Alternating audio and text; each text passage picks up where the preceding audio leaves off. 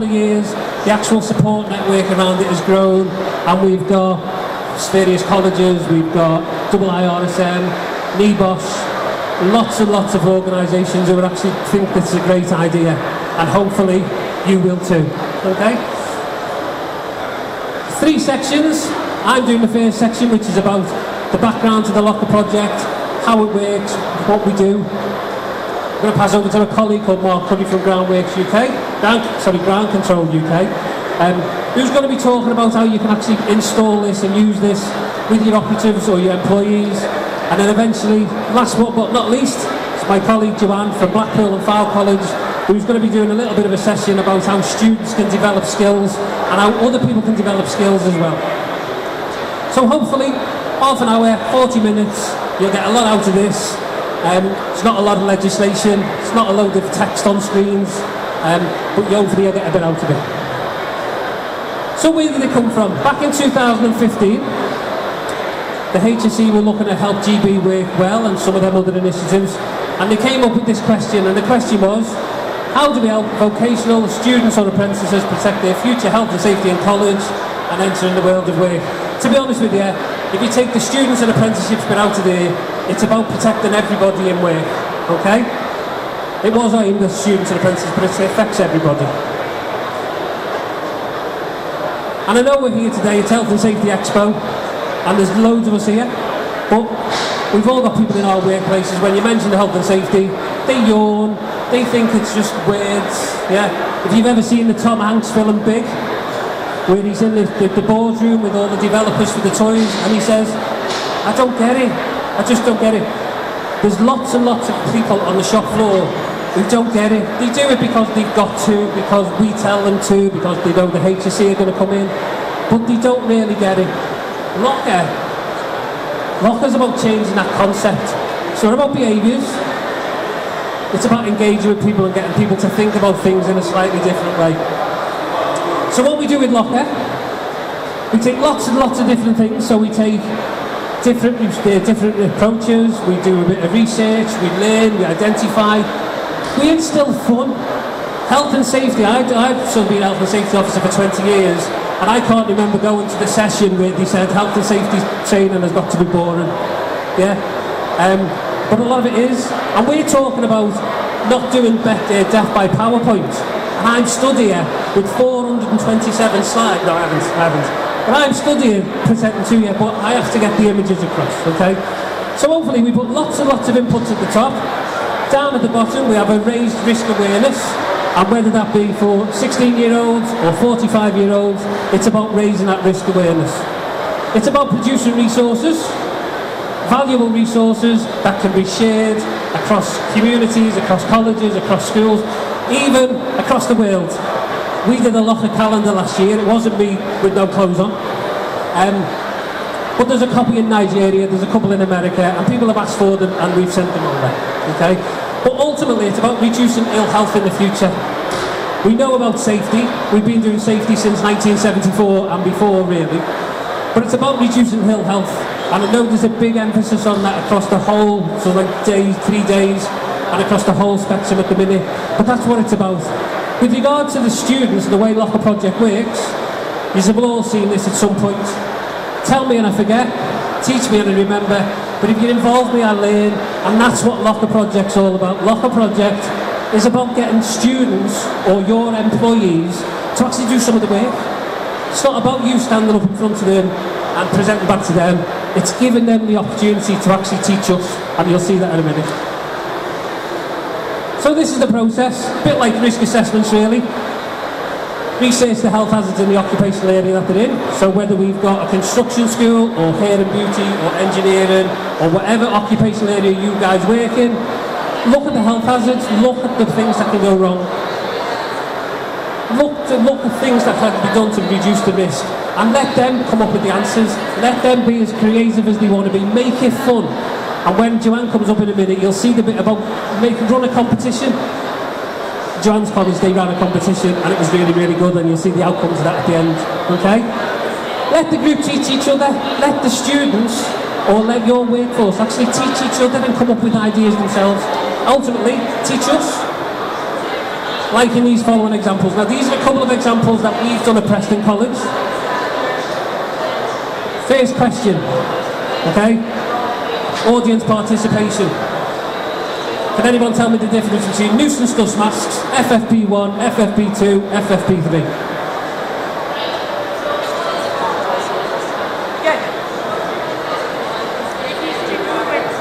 Yeah, yeah, I got that, yeah. But if you're going to do it properly, right, it's about this. It's about, you've got your nuisance dust mask at the end, you've got your FFP1 that offers four times protection, FFP2 is 10, FFP3 20. If you put that in front of a person or a young person and try and get them to remember it, they won't remember it. So we got our science students to do an experiment, and all they did was they sucked talcum powder through various different types of masks and they came up with this. As you can see, not scientific, not health and safety labs or anything else like that. It was basically squares cut out of a t-shirt, talcum powder, sucked through a mask, into a funnel, onto this piece of black material. That white dot on them actually shows how much talcum powder was drawn through each mask. It's visual. They remember when we tell them to put their masks on now, and you'll see some more about masks in a bit. When you see that, and I'll just, just in case you can't see at the back, that's it enlarged even further. So if you're talking about someone who's working with asbestos or silica dust or any other of them other dangerous dust that we actually expose our staff to on a daily basis, depending on the type of mask that you use, potentially that's what could come through. Your FFP3, there's a circle there in the middle. It's very, very, very, very little dust on there. Okay? But you can see the white dot gets bigger as we go backwards through the quality of masks. Dead simple, they get it. Okay? Go back to the Tom Hanks scenario before. I don't get it, I don't get it. They do now. Okay? Doesn't have to be about dust. It could be about this is it weird? This is a demonstration of what would happen if you wore safety boots on the construction site. I'll restart it in a minute. Oh, bullseye. So, as you can see, no damage done. I don't need to be started because all you missed them doing was going, oh, bullseye! Yeah, and this is what you do on a construction site. That's a 16 year old plumbing student who, when we turn around and now say to him, you need to put your boots on, he understands why. It's not because I've said, or Mark, or the HSE, or anybody else. He understands now what could go wrong. There's another half to the video where they actually have a trainer, and they put the tomato in the trainer, drop the boot on it, and the tomato goes. Okay? But obviously I didn't want to show it up. Okay? There's lots and lots of practical, simple experiments and ideas that you can use. One of them is the glove off challenge. If we've got time at the end, we'll run the glove off challenge. Okay, it's the very first one that came up and it was from students in South Essex College. We'll run that at the end. We'll see how much time we've got. Colleges and employers who have got students going through apprenticeships or training schemes, they can actually use the LOcHER project evidence as evidence towards the qualification. We've looked at construction, we looked at science. This is actually hairdressing. Left hand side of the screen there, health and safety practice in the salon, so it's not to do with construction. The knowledge outcome says be able to maintain health, safety and security, state the difference between hazard and risk, describe hazards that may occur, and state the purpose of PPE. LOcHER project fits all them different criteria. You get them to research the problem, you get them to look at the alternatives and the solutions, you get them to demonstrate back to us what they can do produce the resources and share them. It's all about sharing the good practice. It's free. If you want to run a LOcHER project in your organisation, it doesn't cost you anything. There's lots of people who can support you and help you along the way. But it's free. Share the resources, whatever you come up with, share. And in the middle here is some of the evidence that's actually been created in the past. We've got posters, leaflets, videos, presentations. There's all kinds of stuff. And you'll see some more of that over the next 20 minutes. Question is, does it work? To go back to the screen at the very beginning, they were three adults who were all stood there yawning, blah, blah, blah, don't get it, right? These are our students, these are 16, 17 year old kids who've actually gone through, done a LOcHER project, And they've got it, they get it at the end, yeah? And whether you're talking about the science ones at the end there, or joinery students, or engineering students, they get it. And that's what it's about. It's about starting the process when they're young. So when they get to my age, yeah, after let someone's fingers to add it all up, but when they get to my age, I've already done harm to myself from when I was younger. I remember being stood on a roof of a garage when I was 12, throwing bricks through it, and now I know that it was an asbestos sheet roof. Yeah, we did it. But this is about stopping that, and it's about getting them early, okay? I'm going to stop talking now because my colleague Mark's going to come over there. If you want to find out anything about it, you can go on locherproject.com. You can go on the Safety Groups UK campaign page. You can search social media, Facebook, Twitter, LinkedIn, whatever you want for LOcHER Project. And we've actually got an email address there if you want to get in touch. Get in touch by whatever means you want to do. Okay? If you search for me on Twitter, I'm at D42, at D42. And I'm a nosy get really. I really am nosy. But I put all my LOcHER Project stuff on there and it's all over the place. Okay? That's me done. So that's the death by PowerPoint from me. Yeah, you haven't got to listen to my squealy Scouse voice anymore. Over to Mark. Thank you very much. Can everyone hear me okay? Well, very good afternoon to you all. And I haven't got any PowerPoints or any slides because the LOcHER Project really, from a practical point of view, it's not about that. It's simple, it's visual, it's practical. And if you're walking past, come take a seat and come and look to see what I've got to show you. My name's Mark Curry, HSQE, National HSQE Compliance Manager for Ground Control, a main um, construction landscaping company deals with everything outside. I cover the country and I'm very much on the front line with all the teams on site. Drug and alcohol testing, face fit testing, injury avoidance programs. I go on site you're all my you're my workforce and I've just got you in off site and I said we've got to have a briefing and we've got to talk about dust. How can I motivate you about dust? And you're thinking, oh no, all I want to do is just get on with work. It's job and knock.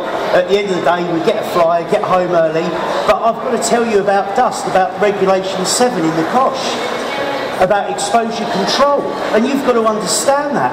And how can I demonstrate to you that approximate daily exposure of silica dust. How can I demonstrate to you the approximate measurement of a week's exposure of silica dust? And you're sitting there and you're thinking, oh no, is not going to take long. Regulation 7, prevention of control to exposure of substances hazardous to health. Does it feel good? And you're looking here thinking, oh no. Well, it's not about that. Because we can still get over that message we can get over that message. Can you hold that penny for me? You don't need to spend a penny just yet. Can you hold that teaspoon for me?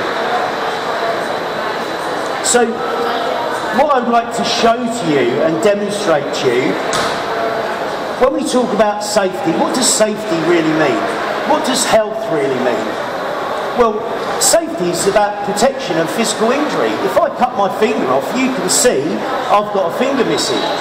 But if I talk to you about health, what does that mean? It's about the protection of minds and bodies of people from processes, materials, procedures within the workplace. In your working environment, you're thinking, oh, we just want to, you know, get home. What have you got to show us? So, but I'm lucky enough to have involvement in this LOcHER project and I'm not focusing on colleges, um, apprentices, I'm focusing on the SMEs. We have about 150 to 200 small field teams, the man in the white van. How can I get that message? How can I get engagement and look at that positive interaction and reinforcement about dust Okay, so a couple of things I want to show you to start with. Can you hold that penny up for me? A little bit of dust there. Hold that up. Turn it round. Can anyone see that little bit of dust on there? You can hardly see it. That's an approximate measurement of a, the daily exposure limits to silica dust. It's only tiny, you can hardly see that, but you can most really breathe that in with, and maybe more. And that's it, just a penny. Have you got that teaspoon? A little teaspoon drawn into quarters. How can I explain to somebody about that? So the approximate measurement of a week's exposure is about a quarter of a teaspoon. It's not a great deal at all. But you can see it, you can physically see it. If I had this on a graph showing you the weight or the percentages, the size of a piece of silica dust is approximately 0.3 microns. However, the size of a whisker to prevent a good face, good face seal is 7 microns. So we need to shave, we need to be clean shaven within the workplace to control that exposure. How do we do that? Well, simple. Razor, shaving foam. We must shave, and we, it's all about the seal. We must have a tight seal to get a good fit so we don't have any leakage and breathe in that, that silica dust. That causes us silicosis 10, down, 10 years down the line, a chronic disease that develops over a period of time. COPD, occupational asthma. But to try and explain that to a man in a van, say five, six, seven, eight years down the line, he hasn't cut his finger off, so he can't see it. To see it in his lungs, it's harder to demonstrate that. So about maintaining the seal, that material there you, you know what the material feels like. So one of the things students have come up with to for us to take it into the workplace is try and demonstrate about not being clean, clean shaven. So if I show you here, bloom pump, I'm not going to make a poodle or anything. We've got a little bit of Velcro around there, which indicates a stubble, because clearly you've got a beard, and if I got this mask here, and you put that over, you're not going to get a seal. It's not going to happen. So we've got a little bit of Velcro around there and another little bit of a smoother material which indicates the material around the mask. That's clear. So what we do, we try demonstrate the leakage on that. So we'll put the balloon over here and we'll get the seal. I hope I haven't got a if this goes wrong. It's good seal there. And I'm showing this to the workforce, trying to engage, trying to encourage them to understand about dust. You're going like that. It's not going to pop. But I can't, that air's not coming out. However, if somebody's got stubble, and I peel that down very, very slightly,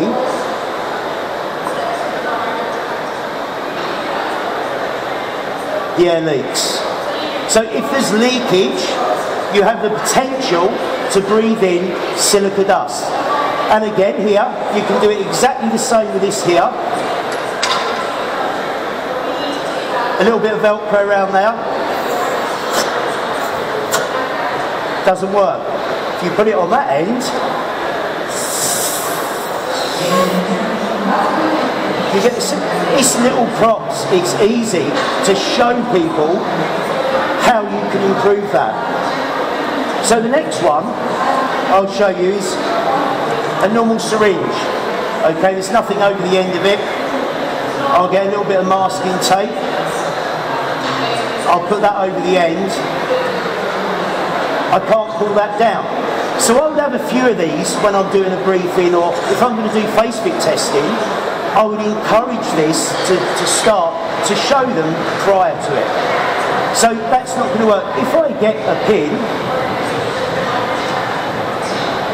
put that in the end, one little pinhole. If there's a hole, if you haven't got a seal, you're going to breathe silica in. Long term can cause damage. However, so far, so good. Better than this, is it? Yeah? Yeah, come on, come on. Right, so the next test is, this is the outside working environment. in here, this is the dust. So what we'll do, that weekly exposure on the teaspoon, we'll pop that in there. I'll screw that back on here. This is our lungs. If we try our lung capacity, we can get quite a bit of air in. We can draw a, a bit, quite a lot of air in. This is just a simple little pump. That's nothing compared with the capacity that a human has in their lungs. In the middle here,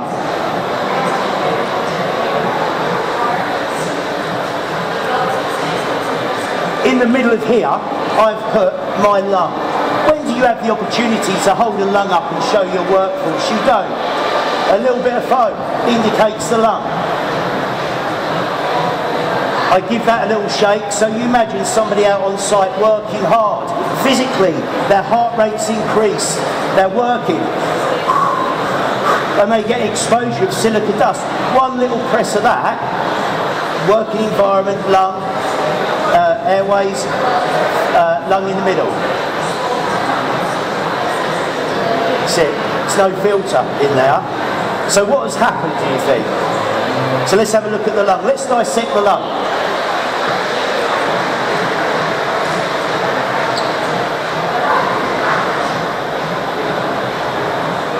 There we go. Indicate that one little breath. Can you see the little blue dot there? So then, I'll cut a bit of the lung off. Not everyday occurrence.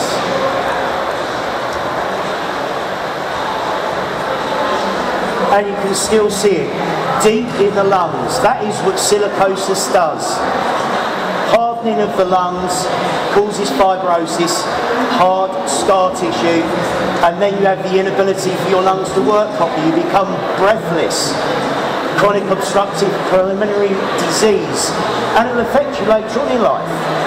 So really, that is about my demonstration about how I would give a, a briefing to my workforce instead of reading them chapter and verse, and they go, do you know what? That was okay. And I'll ask them a week later,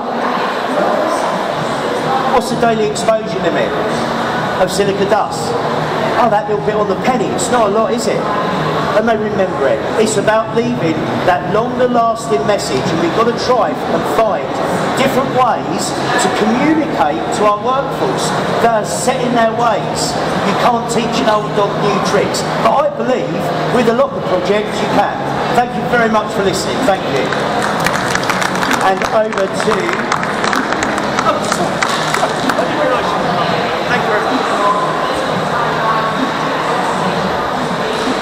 Well, it's lovely to see you all, ladies and gentlemen. Uh, I'd now like to entertain you. Um, at Blackpool and Fylde College we looked at the LOcHER Project, we saw something that was a unique opportunity to truly engage with our students. And we saw the examples that had been given by Preston College, South Essex College and Coleg Gwent. And I looked at the projects that they'd done and thought, this is something we've got to be involved in. But we decided to run the LOcHER Project in a slightly different way. College, we have about 18,000 students, 1,200 staff, and we have a lot of the curriculum areas that, that Dave has as well. We have construction, we've got engineering, we've got hair and beauty, we've got maritime, we've got offshore. And how am I going to find a project? What can I do that's going to engage all of these different areas in health and safety? So we came up with the idea of the LOcHER Project competition. Has been involved in this since 2016 and we've run it twice as a competition. So what we decided to do is we set our students in each of our curriculum areas a brief. We said you are going to present to us a health and safety project about using LOcHER. We are going to ask you to look at the areas in which you're going to be working when you go out into the world of work as the next uh, generation of employers and employees. We want you to identify the health issues in that area and I want you to present to us your findings. So, Within the first year, 10 of our curriculum areas entered the competition. And we brought in a panel of judges. We had Anne Foster from HSE, we had Karen, uh, who was working with uh, LOcHER at that point, and also Jeff Lambert, who was chair of Central Lights Group uh, for IOSH. And the 10 curriculum areas that, involved, that were involved in the project came up with some of the most fantastic ideas, which I'm going to talk to you about a little more in a minute. So this year, a number of weeks ago only, we ran the project for the second time as a competition. This year, I had 26 projects entered. 11 made it through to the final. But the students were so engaged with the project and so thrilled with what they'd seen in the previous year. They wanted to make sure that this year that they were involved and they'd also entered a project into the competition. So some of the topics that were covered, dust and boots from our construction team, and we're going to talk a little bit more about that in a minute. Healthy eating, that was from our access students who actually spent time interviewing their staff about what they were having for lunch and also what activities were they doing. Most of the time the interviews came back from the staff that they were eating their cheese sandwiches at their desk answering their emails. The students then showed the staff all the different apps that were out there available on their phones that they could use to make themselves more healthy. That included diet advice, exercise advice, all sorts of things. All of these were free. After that training, they went back and re-interviewed the staff. Gone with the cheese sandwiches, in was hummus and 30 minute walks around the campus. It was absolutely fantastic. So not only have we engaged our students, we've also engaged our staff. Now the next one, uh, itching time over, I was going to talk about. You're probably wondering what that's all about. Well, one of our curriculum areas is Society, Health and Childhood Studies, and we were training nursery nurses to go out into the workplace. And one of the issues that they had found was nits. We've all been there. If we've got children, we know the horror of nits, but how to get rid of them. Nursery nurses didn't want to put chemical preparations on their head every five minutes. So they came up with some homegrown, homemade recipes, which they demonstrated for the judging panel.